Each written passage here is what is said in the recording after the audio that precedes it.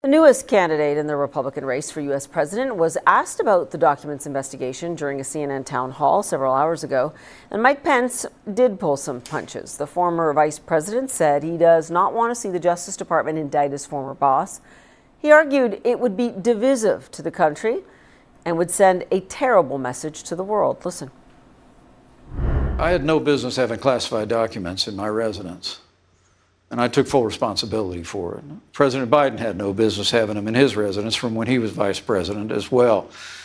And the same with former President Trump.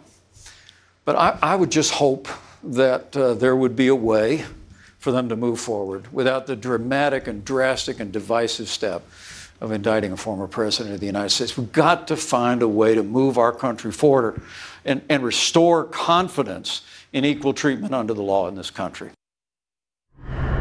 Joining me now from LA, Carolyn Heldman, professor of critical theory and social justice at Occidental College, and she is a Democratic strategist. And from Washington, Charlie Dent, former Republican congressman and executive director of the Aspen Institute Congressional Program. Uh, we are in full swing, believe it or not, in this GOP campaign.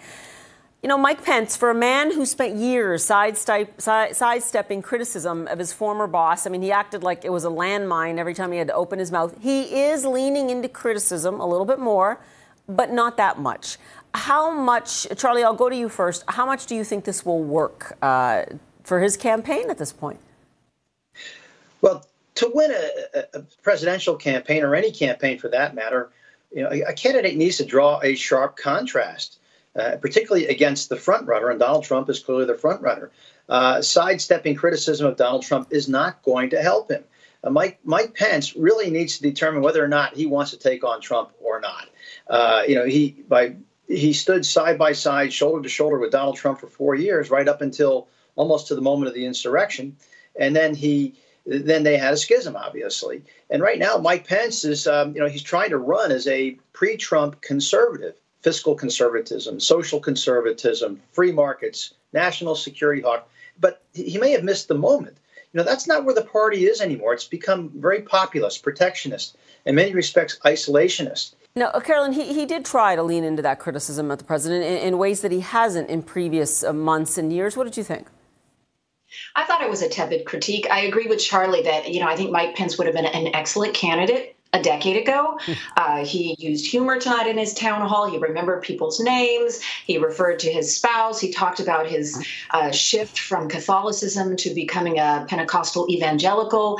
Uh, so, a very warm candidate, but at the end of the day, it doesn't feel like he's in this race to win it. It's so strange. He's not going after DeSantis, who he would have to get through in order to get to Trump, and he's definitely really not going after Trump. In fact, he was asked a number of questions directly and he sidestepped them. And if you look at, at the kind of field so far, you've got Trump at about 50% polling, you've got DeSantis around 25%, and then you have Pence and Nikki Haley way down at 5%, and then the one percenters, Tim Scott and Chris Christie. He, Pence, will not move ahead in the pack unless he actually pushes and competes with both DeSantis mm-hmm. and Trump, and he's just not doing that. Mm-hmm. Um, speaking of Pence's former boss, though, of course, more breaking news uh, about Donald Trump and his legal woes. I want to ask both of you. Will this make any difference politically? It might surprise people, you know, what your answer might be. Charlie, first to you. Yeah, if, if, if former President Trump is indicted as expected, over the uh, classified document issue down at Mar-a-Lago. I mean, this is a golden opportunity for Trump's campaign opponents to just simply blast him. Uh, the, the issue, of course, is this man has been indicted once so far. He could be indicted two or three more times between now and the Republican convention. And it's such a simple message for these Republican candidates to say, look, this is too great a risk. Do you really want to have a man as the nominee, the standard bearer for the Republican Party, who's been indicted a few times and may be convicted. I mean, that's where these candidates need to fight and stand mm. up and nail them. This like after after uh, Trump was indicted over the Stormy Daniels payment, you know, DeSantis and uh, and and Pence more or less, you know, called it a witch hunt and thought Trump was being uh, treated unfairly, and Trump's poll numbers went up. It's almost it malpractice but, as a candidate not to smash him for something like this. They should be on the attack. Right, but uh, Car- Carolyn, just to, to, Charlie's point there, though, is that really going to make a difference? He still seems to have a vice grip on the nomination here.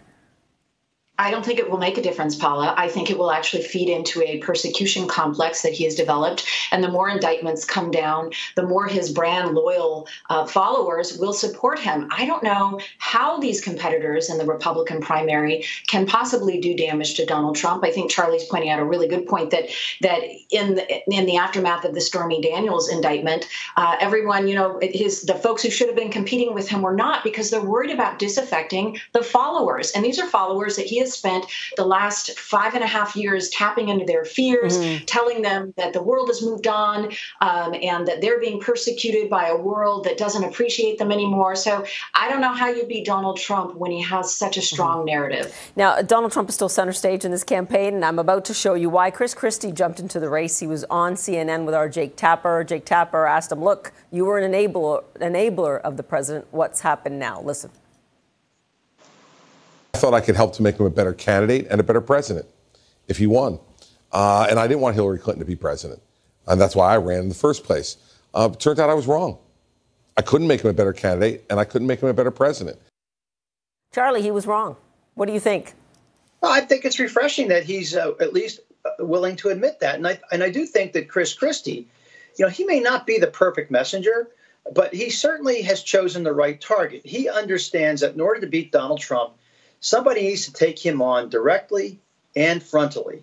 Draw that sharp contrast. Now, maybe Chris Christie is preparing to weaponize himself, uh, you know, and, and maybe going to perform a service as a, uh, a guided missile on Donald Trump. He might be willing to do that. And, you know, it might not elevate his own candidacy at the end of the day, but he understands one thing that the Republican Party cannot win with Donald Trump at the top of the ticket. How much losing can the party take? Underperformance in 2018, uh, 2020, you know, losing the presidency in the Senate, and again 2022, Republicans certainly underperforming in the House races.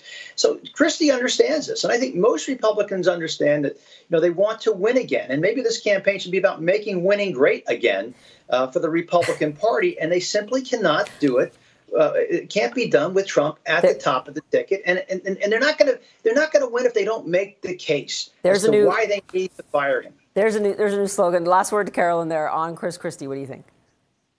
Well, I think he's pulling at 1% for a reason uh, because he is going after a candidate that is most liked. But I agree with Charlie that he's very much kind of throwing himself into the race, not expecting to win, but trying to be that voice of reason that has a position to go after Donald Trump. And it's a precarious position. It's telling that Chris Christie knows he's not going to win, but he's in the race to go after Trump.